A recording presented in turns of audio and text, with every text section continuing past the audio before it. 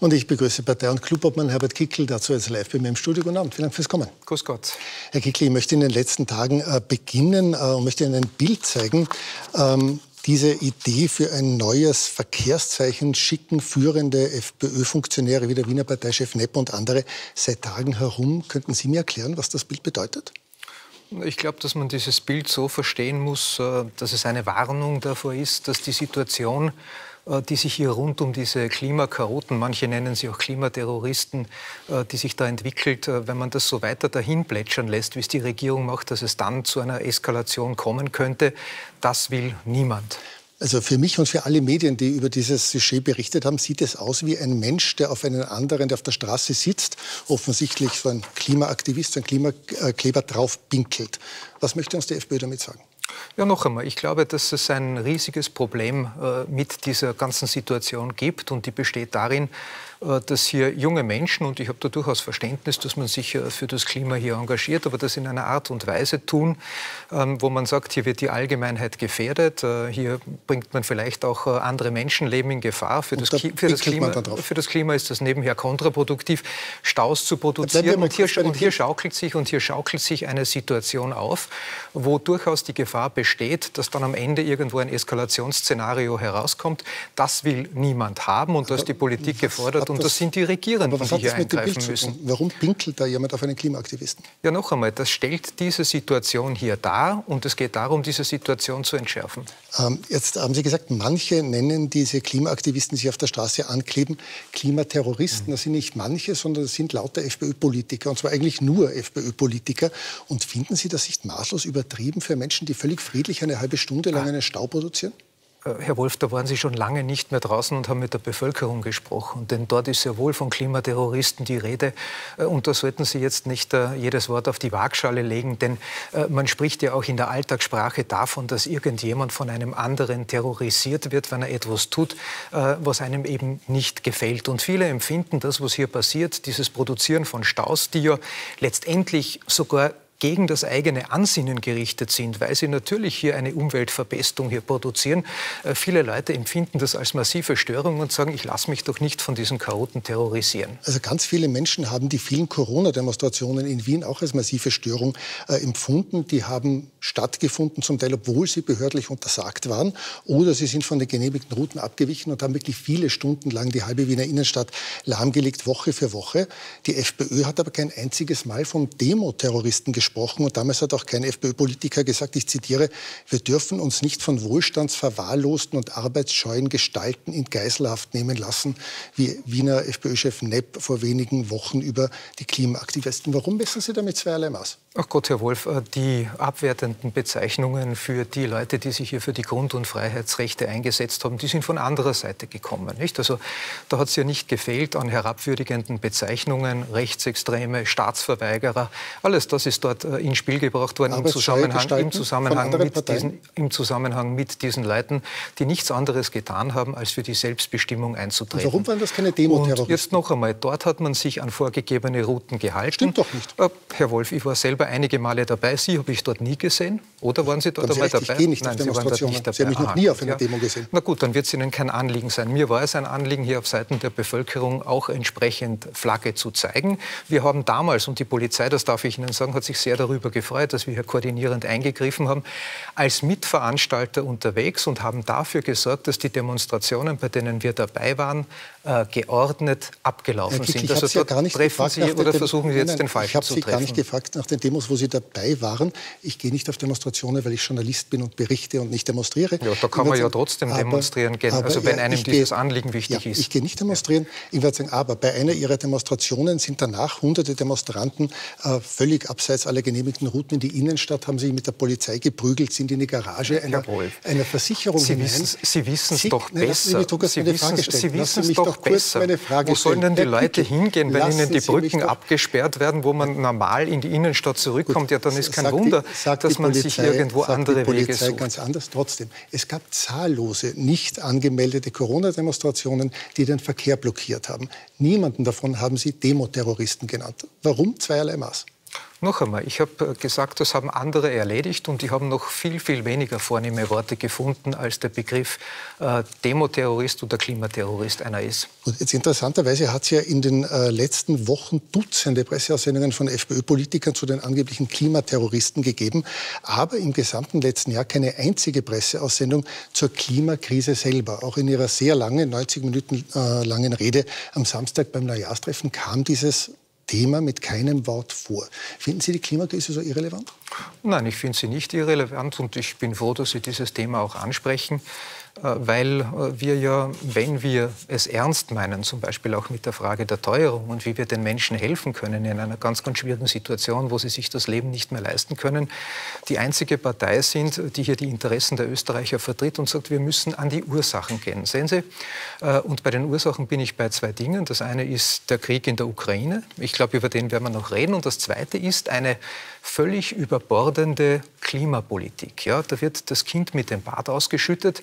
Ähm, das ist etwas, wo wir auch als Freiheitliche Partei eine Sonderstellung haben, wo wir sagen, es ist gut und recht und es ist wichtig, dass wir hier einen Versuch unternehmen, auf nachhaltige Energiequellen umzustellen, dass aber die Art und Weise, wie das hier betrieben wird, kontraproduktiv ist, weil sie unseren Wohlstand gefährdet, unsere Arbeitsplätze gefährdet, äh, die Industrie gefährdet und so weiter und so weiter. Das heißt, ähm, ich gehe oder ich verurteile die Art und Weise, wie man hier von Seiten der Regierung vorgeht. Ich nenne das ideologiegetrieben. Äh, das hat nichts mehr mit faktischen Erkenntnissen auch zu tun. Man versucht hier eine Ideologie auf Biegen und Brechen äh, umzusetzen. Und das ist etwas, was schon vor dem Ausbruch des Ukraine-Kriegs dazu geführt hat, dass es eine massive Verteuerung bei Energiequellen, zum Beispiel im Strombereich, gegeben hat. Das ist diese ganze Strafsteuer, Thematik, die da drauf liegt. Ähm, und ich glaube, dass das der falsche Ansatz ist, weil das Leute sogar abschreckt. Leute sogar abschreckt, die gerne einen Beitrag zum Umweltschutz leisten würden, aber ich sagen, aber so bitte nicht. Okay. Äh, möchte auch mal kurz äh, zu den angeblichen Terroristen. Ähm, auch die äh, rechtsextremen Identitären, die ja permanent unangemeldete Aktionen durchführen. Erst kürzlich haben sich ein paar vor dem Flüchtlingslager in Dreiskirchen angeklebt.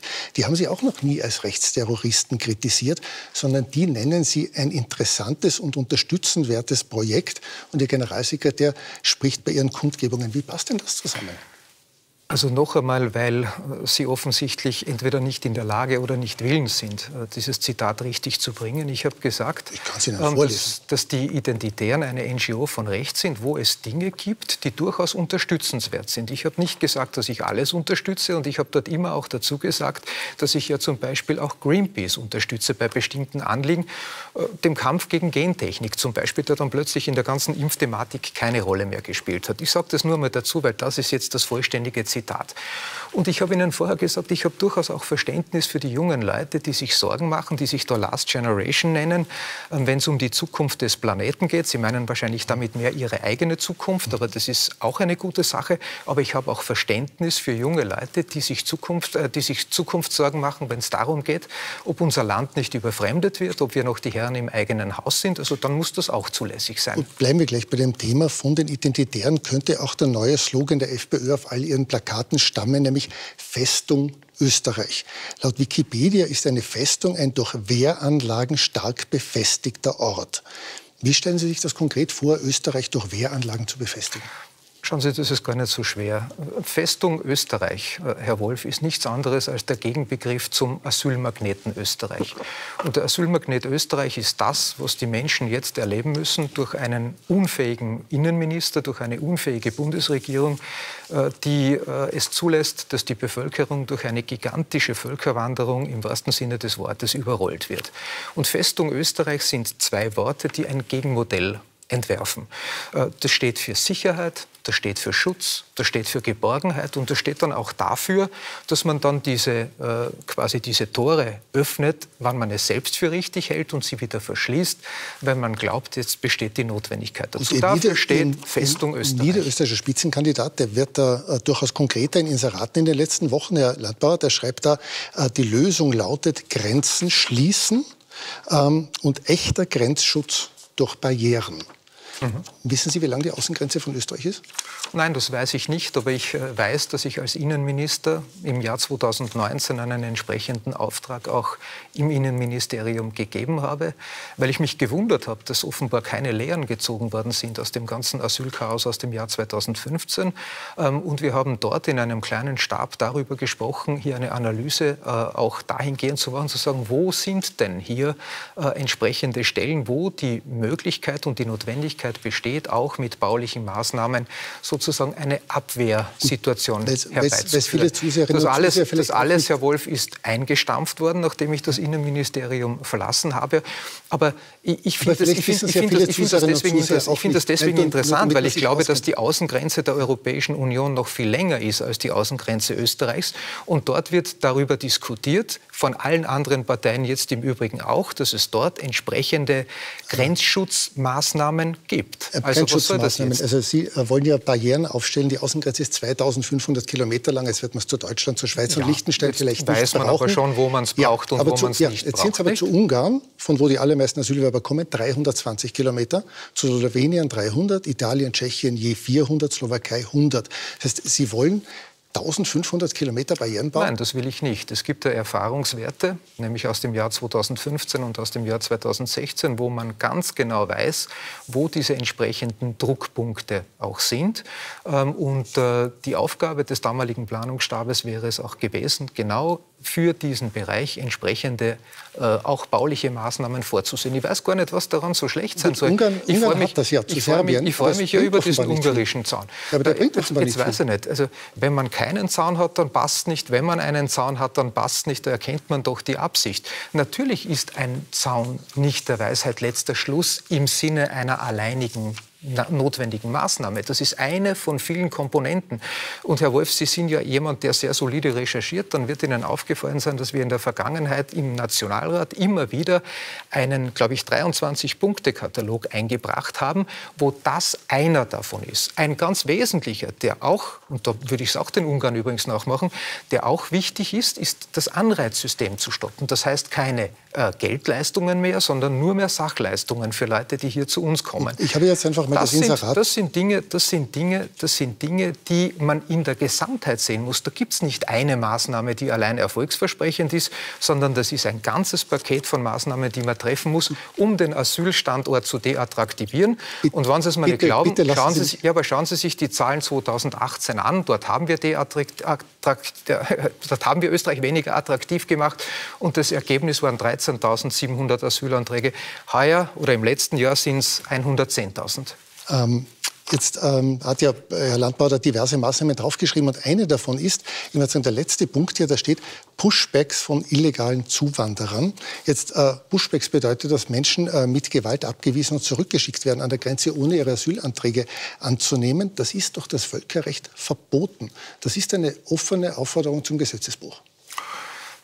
Ich glaube, es ist eine Notwehrmaßnahme, die man treffen muss, wenn man sich anders nicht zu helfen Gesetze weiß. zu brechen. Die Alternative dazu ist, die eigene Bevölkerung unter die Räder kommen zu lassen. Dann und, darf man Gesetze brechen. Herr Wolf, jetzt sage ich Ihnen eines dazu. Ähm, das wird dann auch dazu führen, dass es auf europäischer Ebene ein Umdenken gibt. Wenn man das macht und äh, wenn mehrere Länder sich dazu bereit erklären, ähm, nicht die weiße Fahne, sondern eine Nationalfahne an ihrer Grenze zu hissen, dann wird das zu einem Umdenken auf Ebene der Europäischen Union führen, Herr Wolf. Und dann sind wir dort, wo wir hinwollen. Dann gibt es einen Paradigmenwechsel in der Asylpolitik, Sie sagen, Sie sagen, wo die Interessen der eigenen Bevölkerung im Zentrum stehen und nicht die der Schlepper und der Geschleppten. Das will ja niemand. Ja, natürlich, das Nein, ist doch niemand, das, auf niemand will die Interessen der Schlepper irgendwas zu ja, aber warum machen es dann nur, alle? damit ich Sie verstehe, Herr Kickel. Sie sagen, Österreich soll mit Gewalt Menschen an der Grenze zurückweisen und Gesetze verstoßen. Und gleichzeitig sagen Sie, Menschen, die sich auf der Straße ankleben, weil sie sich Sorgen um die Klimakrise machen, sind Terroristen. Jetzt noch einmal, wenn es nicht anders geht, wenn es nicht anders geht und wenn das die einzige Maßnahme oder mögliche Maßnahme ist, diese Leute vom Betreten des österreichischen Territoriums abzuhalten. Ja, was glauben Sie, für was die Polizei dort steht? Als Begrüßungskomitee? Ähm, aber sie sollte sich vielleicht an die Gesetze halten. Ähm, jetzt müssen wir leider schon sehr auf die Zeit schauen. Ich hätte aber noch gerne sagen, ein paar Fragen zum doch politischen Wahljahr, das sehr spannend ist. Herr Landbauer möchte in zwei Wochen niedersächsischer Landeshauptmann werden, äh, wurde beim Neujahrstreffen mehrfach verkündet. Wie soll denn das konkret gehen? Äh, die FPÖ kommt in den besten Umfragen auf 25 Prozent. Das wäre ein toller Wahlerfolg. Ähm, aber das wäre trotzdem kilometerweit hinter der ÖVP mit schlechten 40. Sie glauben wirklich, die SPÖ würde Herrn Landbauer dann zum Landeshauptmann machen? Schauen Sie, ich glaube, der entscheidende Punkt bei diesen Wahlen, und äh, das ist auch der Ansatz von, von Udo Landbauer, ist, dass die österreichische Volkspartei die absolute Mehrheit verliert und für all das, was sie der niederösterreichischen Bevölkerung angetan hat, ähm, gestraft wird. Das ist der entscheidende Punkt. Da gehört übrigens auch die Inanspruchnahme des österreichischen Rundfunks als eine Art äh, ÖVP-Propagandamedium dazu. Da sollten Sie sich dann auch einmal kritisch damit auseinandersetzen mit diesen Entwicklungen. Aber, das ist ja nur einer von vielen Aspekten. Sie, können Sie meine Frage beantworten? Und da geht es da, darum, einfach so stark wie möglich zu werden. Vielleicht geht sich das mit dem Landeshauptmann diesmal noch nicht aus. Dann wird es einen zweiten Anlauf geben. Udo Landbauer ist ja ein politischer Hoffnungsträger für die Zukunft, während Johanna Mikl-Leitner ein Auslaufmodell ist. Sie wollen Bundeskanzler werden, haben Sie am Samstag gesagt, was bei 25 Prozent in den Umfragen eine recht selbstbewusste Ansage ist. Wer genau soll denn Sie zum Bundeskanzler machen? Ja, ich äh, höre ja jetzt auch im Vorspann immer wieder äh, Experten, die sagen, dass das ein Ding der Unmöglichkeit ist. Das sind dieselben Experten, die gesagt haben, als ich Parteiobmann geworden bin, das wird zu ganz großen Turbulenzen in der Freiheitlichen Partei führen. Da werden wir von den 16 Prozent nicht in Richtung 20 gehen, sondern in Richtung 10. Da werden sich Landesgruppen abspalten. Die Freiheitliche Partei wird die 20 Prozent nie übersteigen. So viel zu den Experten, äh, die da bei Ihnen immer wieder zu Wort kommen. Gekommen ist es dann ganz anders. Und jetzt zur Frage, mit wem. Da habe ich nicht nur ein Déjà-vu, sondern da habe ich viele Déjà-vus. Sie sind auch schon, glaube ich, seit 2010 hier stellvertretender Chefredakteur und haben all diese Entwicklungen mitbekommen. Ich meine, äh, bei HC Strache haben wir genau die gleichen Aussagen gehört. Niemand will mit der FPÖ, niemand will mit Strache. Das ist alles viel zu extrem. Und dann sage ich Ihnen eines dazu. Es hat damals Gespräche gegeben, nicht nur mit der ÖVP, sondern auch mit der SPÖ. Aber die SPÖ hat hatte schon damals das Leiden, dass sie nicht besonders entscheidungsfreudige Führungskräfte hat. Herr Kickler, helfen Sie mir bitte mit kürzeren Antworten, weil Sie haben ja noch ein Problem. Selbst wenn Sie einen Koalitionspartner finden würden, gibt es einen Bundespräsidenten, der Sie als Innenminister entlassen hat und auch sagt, Ihre Angelobung war schon ein Fehler. Der wird Sie ja wohl kaum als Regierungschef angeloben, oder? Diesen Satz, den hätte ich jetzt gerne von Ihnen belegt, den zweiteren das kann ich Ihnen jetzt leider nicht vorstellen, äh, vorspielen, aber diese ja, bei diesen zweiten Satz, den kenne ich nicht. Das heißt aber nicht, dass er da darf, ich Ihnen, ist. da darf ich Ihnen berichten, dass ich ja vor gar nicht allzu langer Zeit auch ein Gespräch mit dem Bundespräsidenten gehabt habe. Und ich habe ihn damals gefragt, warum er mich denn eigentlich entlassen hat. Und äh, seine einzige Erklärung war, er hat das deshalb getan, weil das der Bundeskanzler vorgeschlagen hat. Er hat also keine sachliche Begründung nennen können. Auch wiederholte Anfrage nicht. Ich war ja dabei bei diesem Gespräch, weil ich es gerne einmal gewusst hätte. Nun hat sich alles das, was der Bundeskanzler damals als Erklärung geliefert hat, eigentlich als absoluter Blödsinn erwiesen.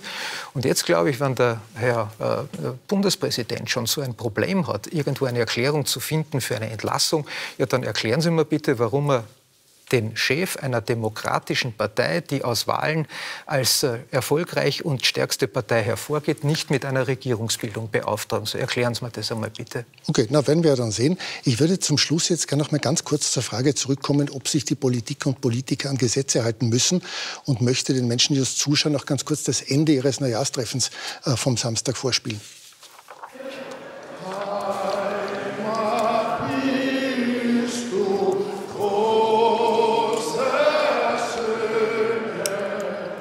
Jetzt lautet seit 2011 diese Zeile in der Bundeshymne korrekt Heimat großer Töchter und Söhne. Und das ist jetzt keine freundliche Anregung von Gender-TerroristInnen, sondern ein geltendes Bundesgesetz. Warum halten Sie sich nicht dran? Wissen Sie was, da bringen Sie mich auf eine gute Idee. Ein freiheitlicher Bundeskanzler wird das wieder ändern. Ja, das wird möglicherweise sehr lang dauern, irgendwas zu sagen. Aber warum halten Sie sich nicht an geltende Gesetze?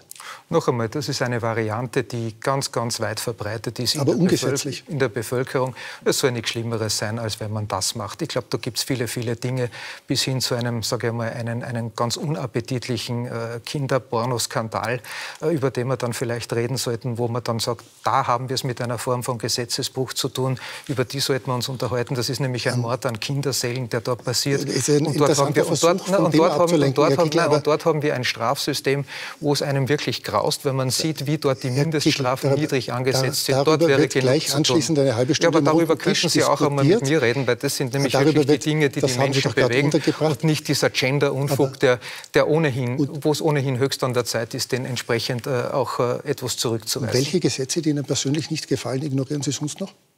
Da fällt mir jetzt sonst nichts ein. Aber Sie haben ja recherchiert. Haben Sie noch was auf Lager? Nein, ich habe Sie gefragt. Mhm. Herr Kickl, vielen Dank für den Besuch. Und damit müssen wir uns für heute schon von allen verabschieden, die via Dreisat dabei waren. Danke für Ihr Interesse. Noch einen schönen Abend aus Wien.